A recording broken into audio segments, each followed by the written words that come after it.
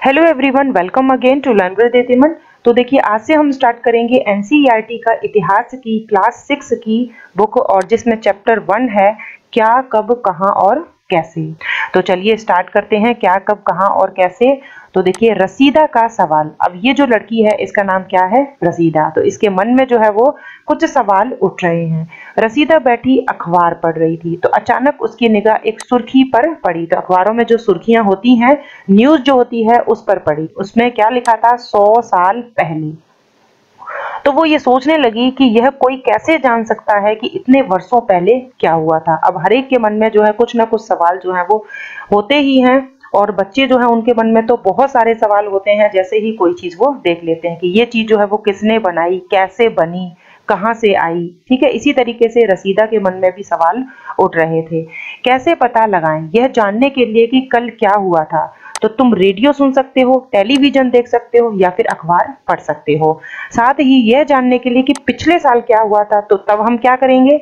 तब हम जो है, किसी दूसरे व्यक्ति से जो है वो बात करेंगे, जो कि उस समय उस घटना पर जो है वो वहाँ पर रहा होगा, ठीक है? उसको जो है उस चीज़ की जो है याद रही होगी, जिससे उस समय की स्मृति हो। लेकिन बहुत पहले क्या हुआ था ये कैसे जाना जा सकता है? तो ये सबको जो है रसीदा भी सोच रही थी और हम भी ऐसा ही सोचते हैं। तो अतीत के बारे में हम क्या जान सकते हैं? अतीत के बारे में बहुत कुछ जाना जा सकता है। जैसे लोग उस समय क्या खाते थे? कैसे कपड़े वो पहनते रहे होंगे, किस तरह के घरों में वो रहते होंगे, ठीक है? तो हमारे मन में भी ये सवाल उठता है कि क्या जैसे हम इस टाइम जो है वो जिन मकानों में रहते हैं, ऐसे ही मकान जो है वो पहले भी रहते थे तो हमने थोड़ा बहुत तो हमें नॉलेज है कि पहले लोग कच्चे मकानों में रहा करते थे। उससे भी पहले कैसे रहा करते थे? तो जो चीज़ हमें जो है नॉलेज में नहीं है, जो हमने नहीं देखी है तो उनके बारे में जो है हम सोचते हैं। कि पहले लोग कैसे रहा करते थे? जैसे आज हम कपड़े पहनते हैं, क्या वो भी ऐसे ही कपड़े पहनते थे? क्या वो खाते थे?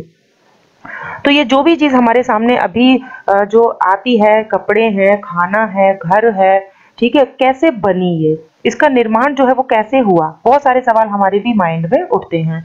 तो हम शिकारियों, पशुपालकों, कृषकों, शासकों, व्यापारियों, पुरोहितों शिल्पकारों, कलाकारों, संगीतकारों या फिर वैज्ञानिकों के जीवन के बारे में जानकारियाँ हासिल कर सकते हैं। ठीक है? तो किताबों में हम देखते हैं, वहाँ से हम पता कर सकते हैं। ठीक है? इसके अलावा जो है, कोई बहुत सारी जो वस्तुएँ होती हैं, उनके आधार पर हम पता लगाया जा सकता है।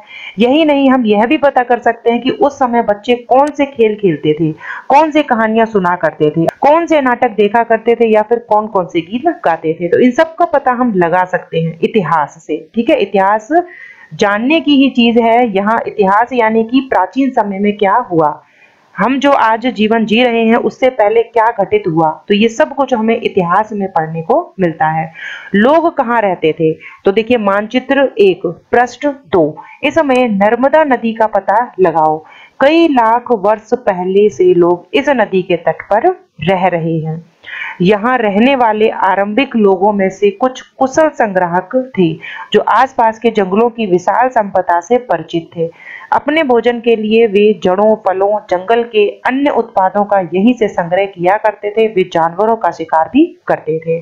तो इन लाइनों से जो है वो हमें क्या पता लगा कि लोग जो है सबसे पहले नर्मदा नदी के जो है तट उसके आसपास जो है वो रहा करते थे और ये कैसे थे? कुशल संग्राहक थे, ठीक है? तो प्रारंभिक जो मानव था वो कुशल संग्राहक था, यानी कि उसका काम क्या था कि जंगलों से जो है फल, फूल जो भी उसके खाने लायक जो चीज़ें हैं, उनको इकट्ठा करना और अपना जीवन यापन करना। ठीक है? जानवरों का जो है वो शिकार किया करते थे। तो ये चीज़ जो है वो आपको याद रहेगी कि सबसे पहले जो आरंभ के जो लोग थे, वो कुशल संग्राहक थे। ठीक है? और नर्मदा नदी के आसपास वो रहे थे।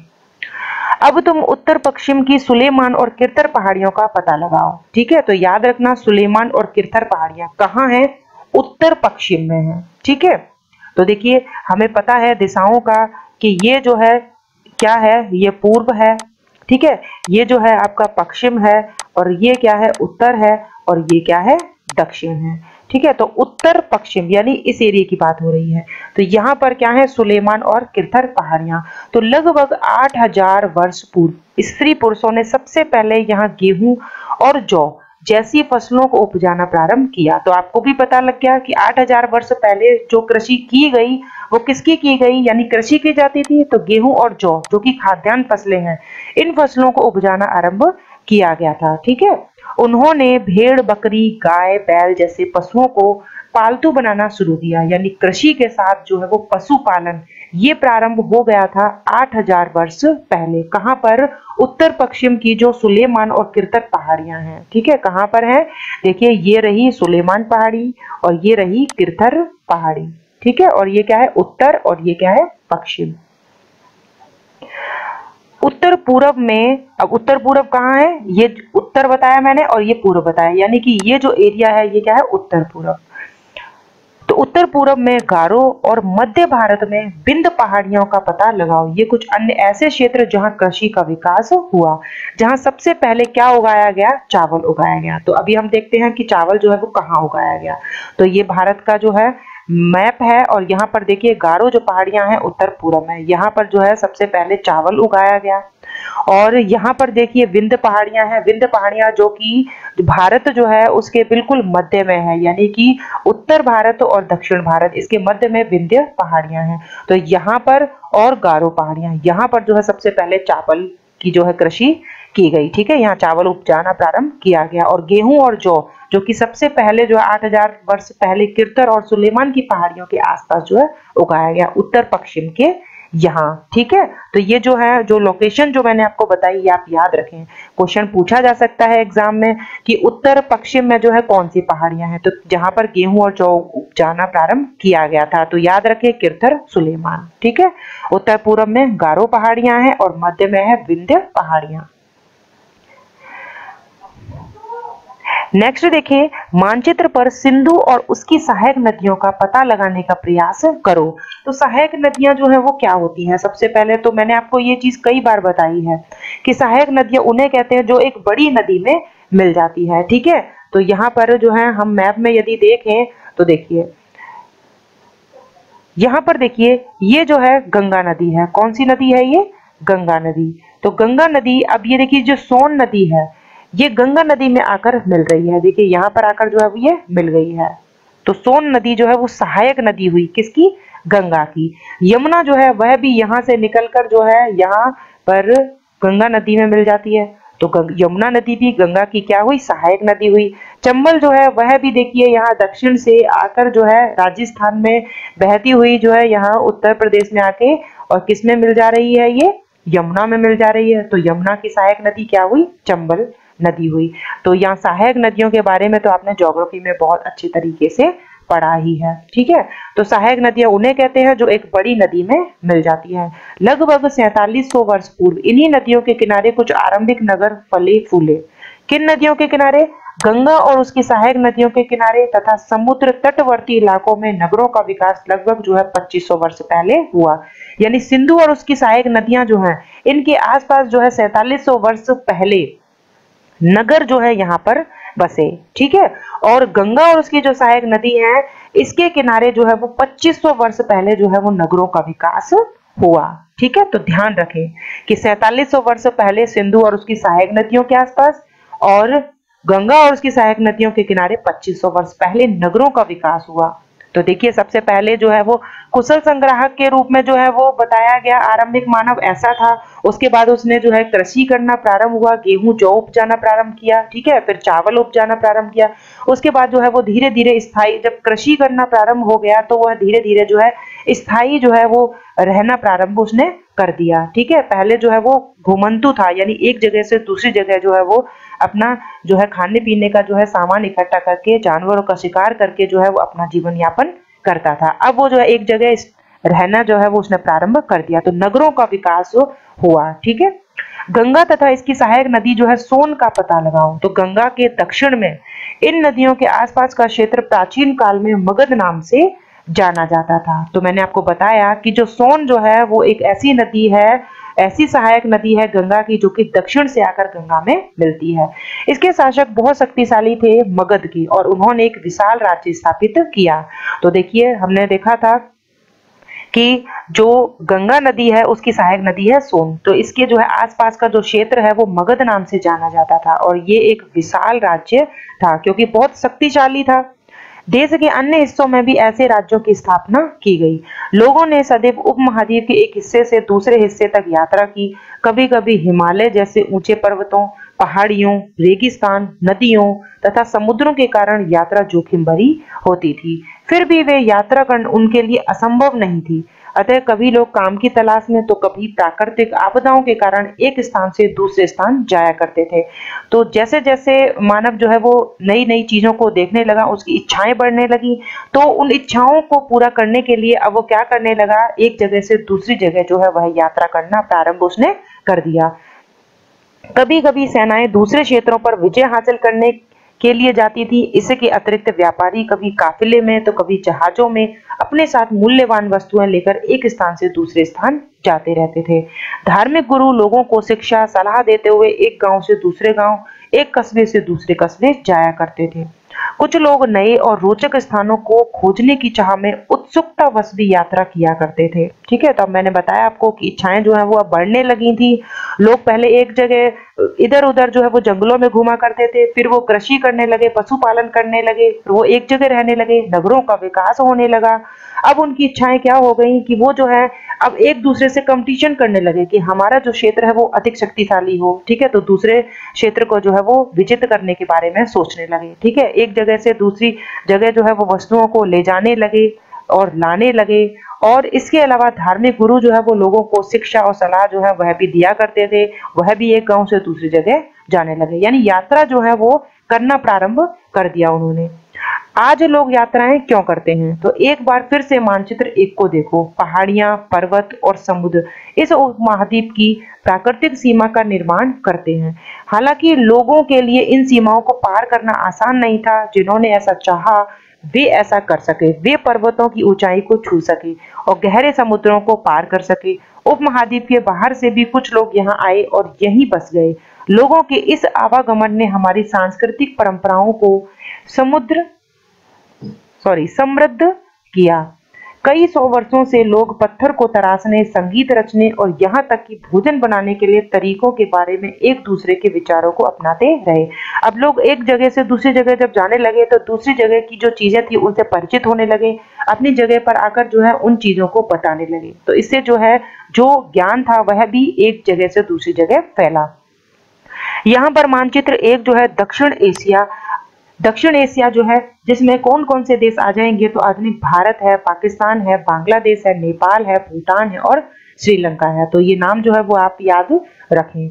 और अफ़गानिस्तान, ईरान, चीन तथा म्यांमार भी है। ठीक है? आदि पड़ोसी देशों को दर्शाता है। दक्षिण एशिया एक महाद्वीप से, दक्षिण एशिया एक महाद्वीप से छोटा है, लेकिन विशालता तथा बाकी एशिया से समुद्रों, पहाड़ियों, पर्वतों से बटे होने के कारण इसे प्राय उपमहाद्वीप कहा जाता है, ठीक है?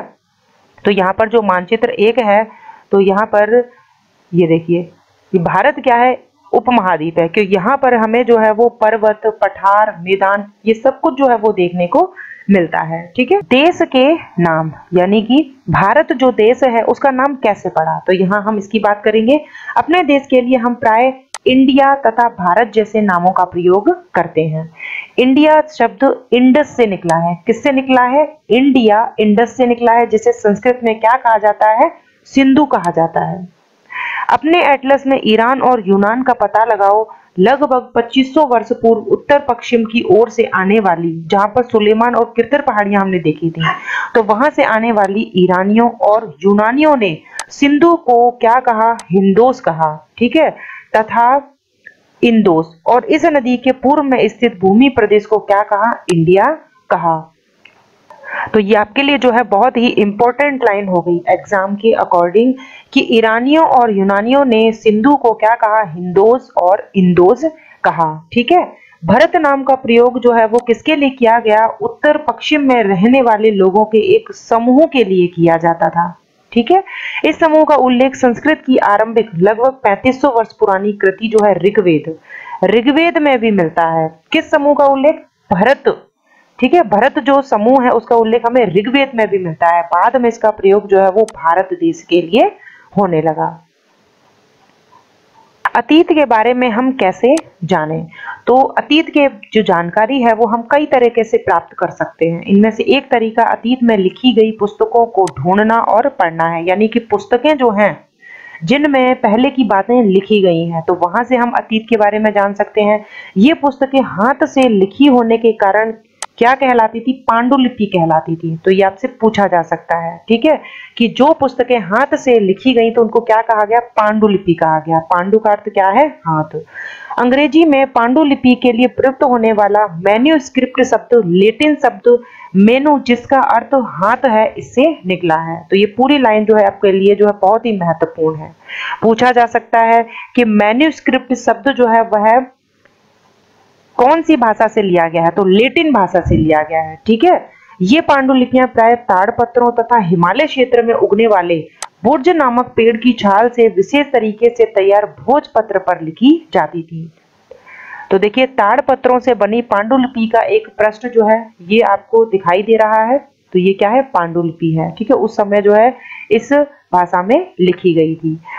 तो यह पांडुलिपि लगभग एक हज़ार वर्ष पहले लिखी गई। किताब बनाने के लिए ताड़ के पत्तों को काट कर उनके अलग अलग हिस्सों को एक साथ बाँध दिया जाता था। भुर्ज पेड़ की छाल से बनी ऐसी ही एक पांडुलिपि के तुम यहाँ देख सकते हो।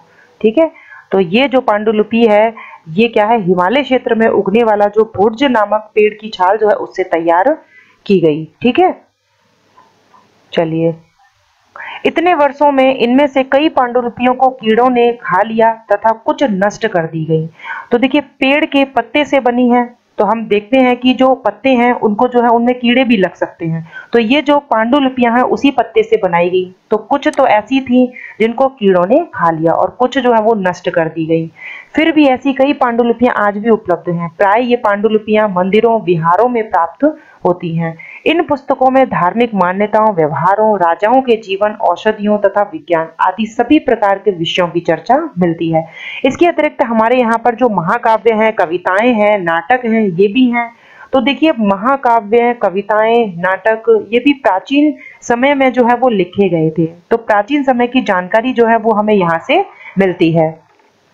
और इनमें से कई जो है संस्कृत में लिखे हुए मिलते हैं, जबकि अन्य प्राकृत और तमिल में मिलते हैं। प्राकृत भाषा का प्रयोग जो है आम लोग करते थे। तो ये याद रखिएगा, प्राकृत भाषा क्या है? यानी कि जो आम जनता को समझ में आ सके ऐसी भाषा। तो जो नाटक लिखे गए तो वो प्राकृत भाषा में लिखे गए और जो महाकाव्य थे, वो संस्कृत भाषा में लिखे गए।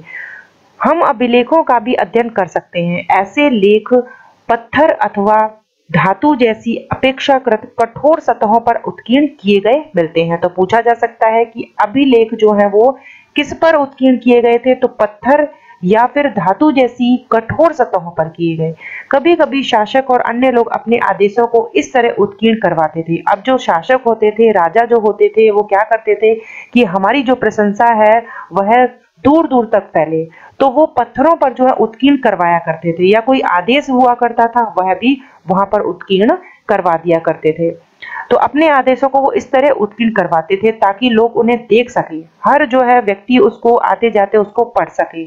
ठीक है? और वो प्राकृत भाषा में जो है लिखवाए जाते थे ताकि हर एक को समझ में आ सके और उनका पालन कर सके। कुछ अन्य प्रकार के अभिलेख भी मिलते हैं जिनमें राजाओं, रानियों सहित अन्य स्त्री पुरुषों ने भी अपने कार्यों के विवरण उत्कीर्ण करवाए। उदाहरण के लिए प्राय शासक लड़ाइयों में अर्जित विजयों का लेखा जोखा रखा करते थे कि ये जो है हमने विजय प्राप्त की है, उस शासक से लड़ाई करके उस समय में तो वो सन, ठीक है किस किस के बीच में जो है वो युद्ध हुआ था तो ये सब चीज़ जो है वो अभिलेखों पर जो है वो उत्कीर्ण करवाया करते थे शासक। तो देखिए, ये जो है आपको जो दिखाई दे रहा है, ये कठोर सतहों पर जो है वो उत्कीर्ण किया गया है, ठीक है? तो ये एक क्या है? अभिलेख है। अभी हमने क्या देखा था? वो हमने देखा था पांडुलिपि। लगभग 2250 वर्ष पुराना यह अभिलेख वर्तमान अफ़गानिस्तान के कंधार से प्राप्त हुआ है। यह अभिलेख जो है वो अशोक नामक शासक के आदेश पर लिखा गया है। तो अशोक का जो ये अभिलेख जो है, जो कि 2250 वर्ष पुराना है, ये कहाँ का है? ये अफ़गानिस्तान के कंधार से प्राप्त हुआ है।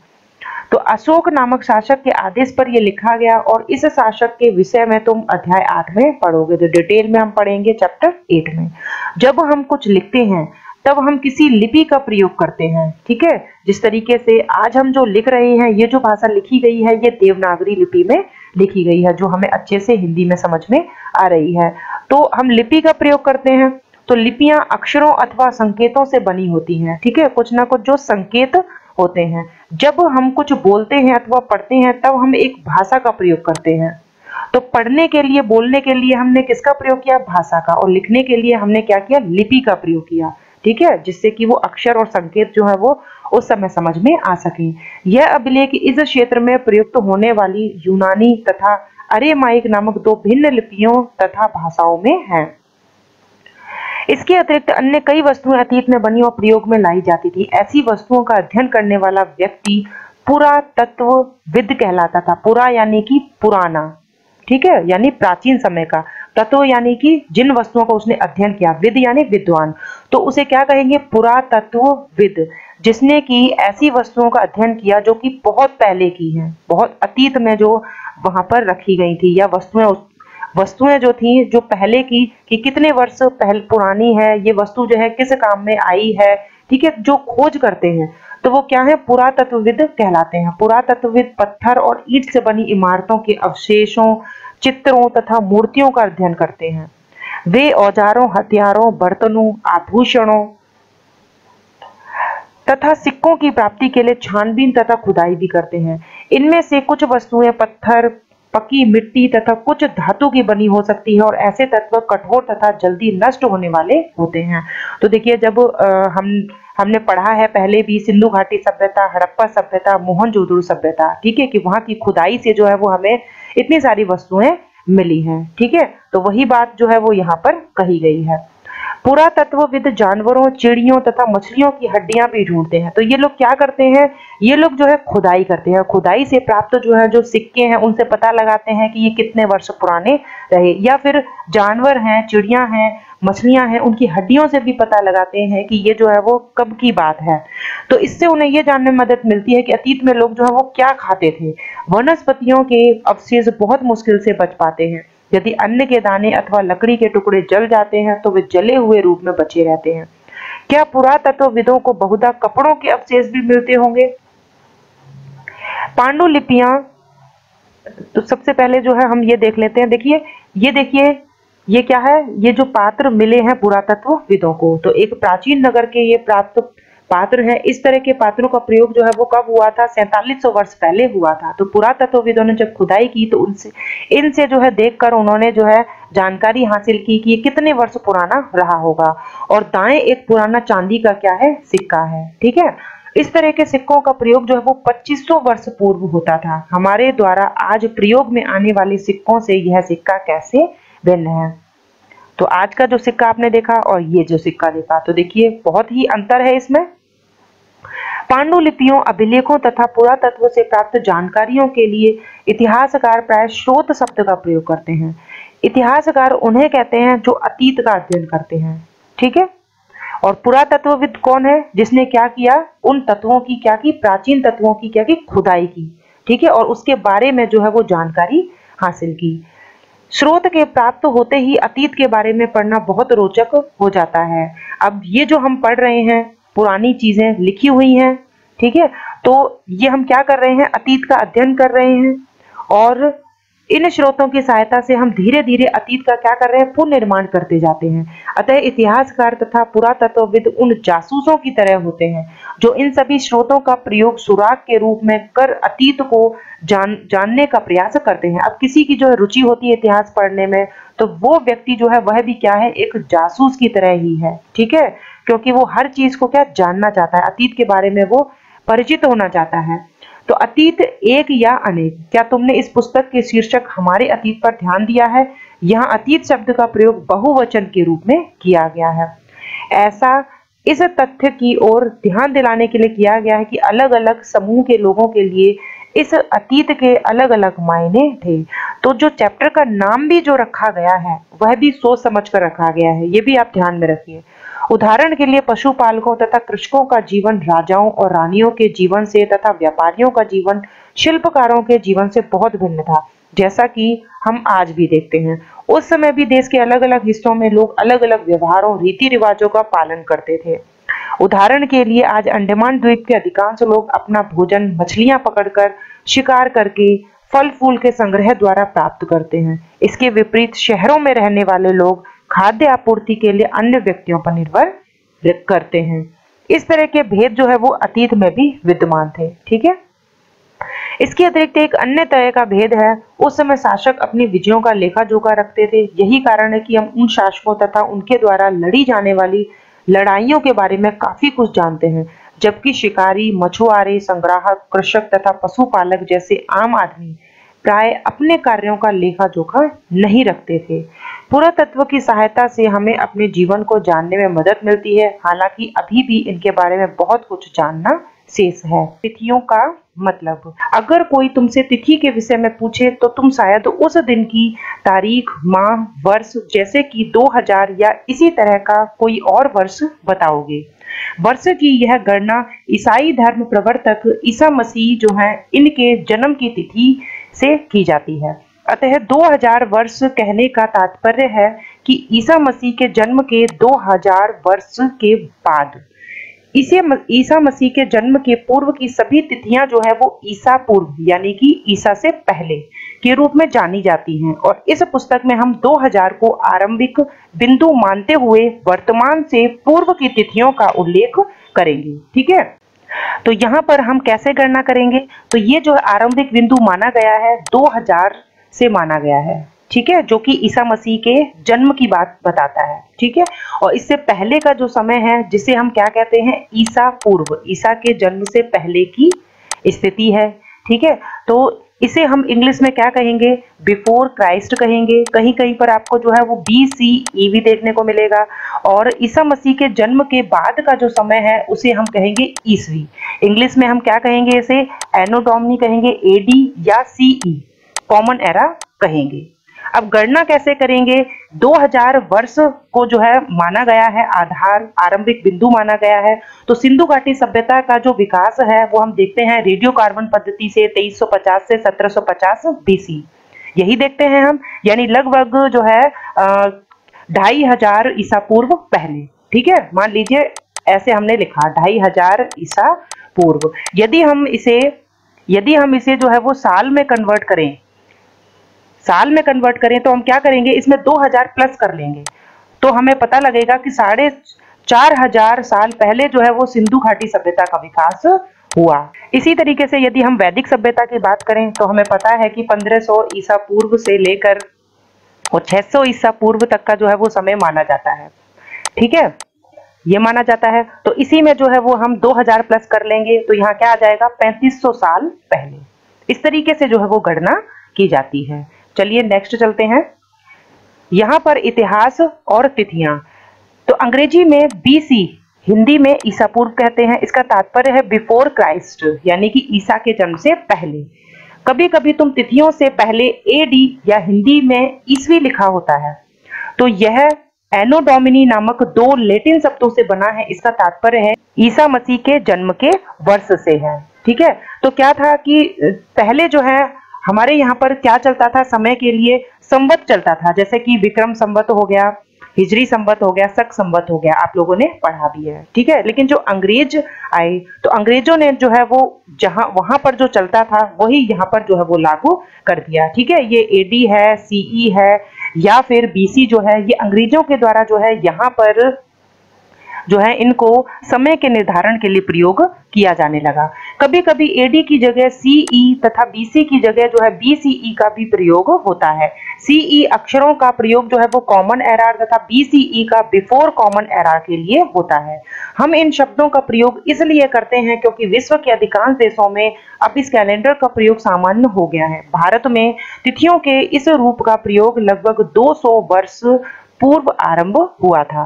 तो कभी कभी अंग्रेज़ी के बीपी अक्षरों का प्रयोग होता है, जिसका तात्पर्य है बिफोर प्रेजेंट वर्तमान से पहले। ठीक है? तो आपको यहाँ पर जो है वो क्या याद रखना है? यहाँ पर आपसे जो है ये पूछा जा सकता है कि जो ईसा पूर्व है, उसे क्या कहेंगे इंग्लिश में? तो उसे जो है वो क्या कहेंगे? उसे कहेंगे BC before Christ full form पूछी जा सकती है, ठीक है? या बीसी को जो अन्य नाम क्या है तो उसका अन्य नाम जो है वो बी सी बी सी ई भी कहते हैं इसको, ठीक है?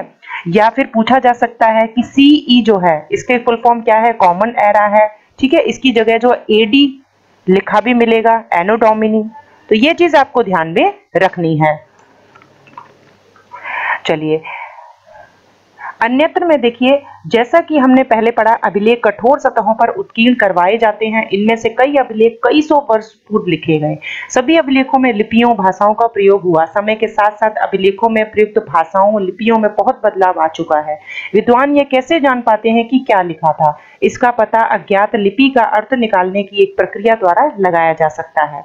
इस प्रकार से अज्ञात लिपि को जानने की एक प्रसिद्ध कहानी उत्तरी अफ्रीका देश मिस्र से मिलती है। लगभग पाँच हज़ार वर्ष पूर्व यहाँ राजा रानी रहते थे। नेक्स्ट देखिए मिस्र के उत्तरी तट पर रोसेट्टा नाम का एक कस्बा है। यहाँ से एक ऐसा उत्कीर्ण पत्थर मिला है जिस पर एक लेख तीन भिन्न भिन्न भाषाओं तथा लिपियों यूनानी और मिस्री लिपि के दो प्रकारों में है।